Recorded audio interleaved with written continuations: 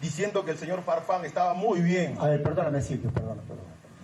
La conferencia la estoy dando yo. Correcto, bueno, le doy Eh, a usted. Néstor, No, porque, porque usted Néstor, dice no, que tiene los mejores colaboradores. Pero y no. los mejores colaboradores no nos ha dicho la verdad. pero espérate. No, no, no, es que no le puedo permitir que usted. Usted dice que su mejor colaborador. El tema Jefferson Farfán nunca se aclaró. Nos decían que Farfán estaba bien y Farfán estaba lesionado. Pero bueno.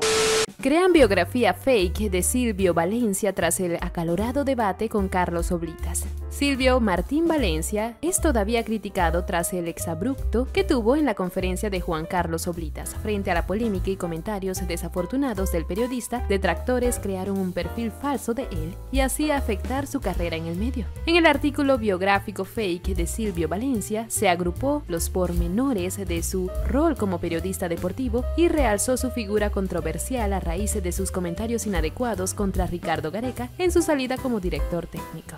Lo más destacable en su biografía falsa, aparentemente recuperada de Wikipedia, son los apodos referidos con los que hinchas y colegas lo calificarían: el sensei, la bestia, el Kraken, Doco de Libra, el coleguita ignorante, el Footer, Emilio, se consigue leer en una sección de información personal. En la hilarante lectura se trató de enervar los roces que tuvo con sus homólogos en deportes. Silvio alcanzó una gran popularidad alrededor del año 2012 debido a sus constantes peleas al aire, en especial con Jan Rodríguez, el cual opinaba totalmente distinto y jamás podían ponerse de acuerdo. La filosofía valenciana es una rama de la brutalidad en el Perú.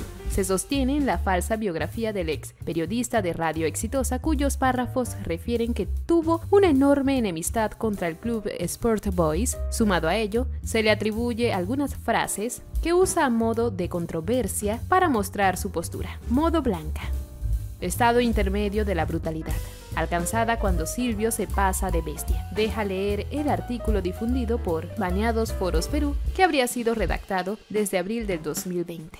Al parecer tuvieron mucha imaginación para decir estas cosas de Valencia, quien seguramente reaccionará. ¿Qué te parece? ¿Será que tienen razón en parte? Te invitamos a dejar tus opiniones abajo, suscribirte y darle a la campanita de notificaciones. Bye.